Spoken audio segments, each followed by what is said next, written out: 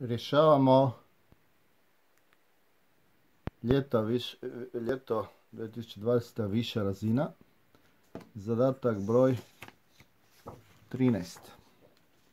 Kaže koja od navedenih kvadratnih funkcija nema realnih nul točaka.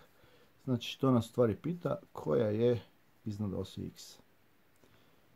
Primijetimo da kad ih sredimo sve će imati a vodeći koeficijent veći od nule, znači sve stoje ovako.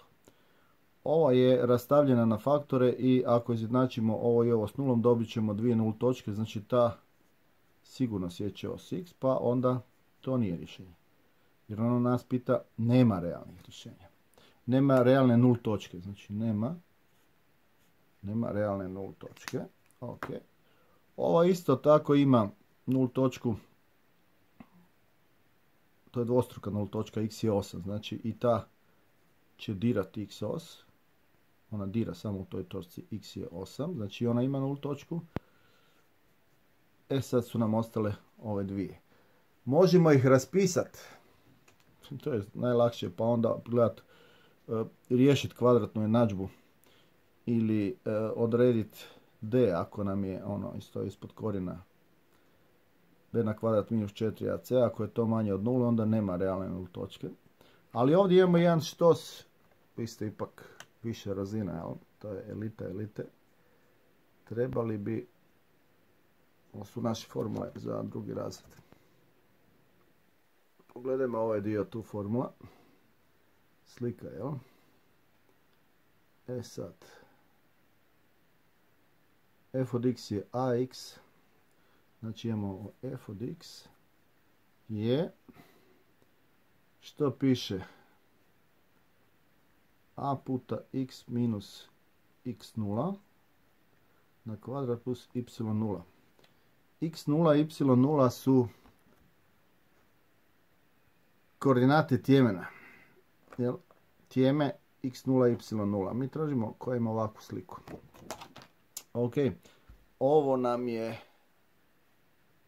ovo je minus x0, znači ovdje imamo x0 je 8, a y0 je 13. Znači ovaj, ova kvadratna funkcija ima tijeme 8, 13. Što bi značilo opet da je to iznad osi x. Znači ovo je naše konačno rješenje.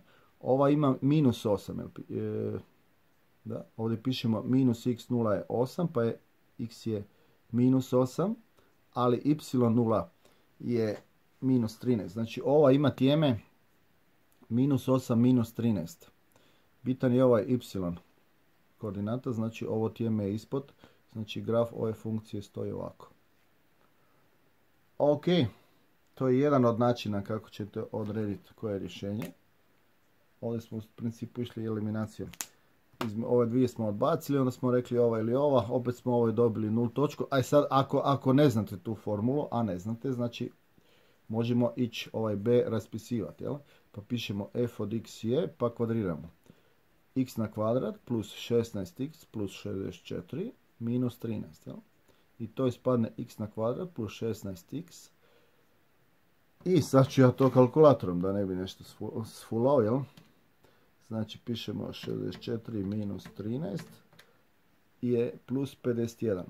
I sad bi to trebalo riješiti kvadratnu jednadžbu. Za to ćete koristiti ovaj kalkulator. Imate tamo ono, upišite samo kako riješiti kvadratnu jednadžbu pomoću kalkulatora. Dakle, kad ukucate u vaš ovaj pametni kalkulator, dobit ćete da je x1 je minus 8 plus korijen iz 13, a x2 je minus 8 minus korijen iz 13. Zaključak. I ova ima realne nul točke, i to su ove x1 i x2, x2 x1 u stvari. I sad je ostalo samo opet ta za rješenje. Nju ćemo isto raspisati. Dakle, idemo. To je x na kvadrat minus 16x plus 64 plus 13. I dobijemo x na kvadrat minus 16x plus, koliko nam je to? 64 plus 13, nemam pojma, umana sam kao pas i plus 77. I sad nas zanima d, to je ono pod korijenom. d je b na kvadrat minus 4ac, znači imamo b na kvadrat minus 4ac je u stvari minus 16 na kvadrat minus 4 puta 77 je I što dobijemo? 16 na kvadrat. Uh, znam ja to računat. To je 256 minus 4 puta 77 i minus 308. I što smo dobili? Puta minus 1 plus 256 i dobili smo minus 52. Minus 52. D nam je manji od nule. Ako je D manji od nule, to znači da nemamo realne nul točke i da nam graf stoji ovako. Nadam se da ste skužili. Ali možete vi to i pješke. Znači, svaku od ovih sredite, iskvadrirate, dotjerate na ovaj oblik i onda kucate u kalkulator. Imate tamo moj ovaj video kako rješavati kvadratnu jednadžbu na kalkulator. Jel? Naravno da sam ja to zaboravio, jer to meni ne treba, pa onda ne koristim. To će se vama desiti na testu, ako nećete stalno vježbat, bolje naučiti tehnike. Ok, ali vi ste više razina, dakle na više razini nema rasprave.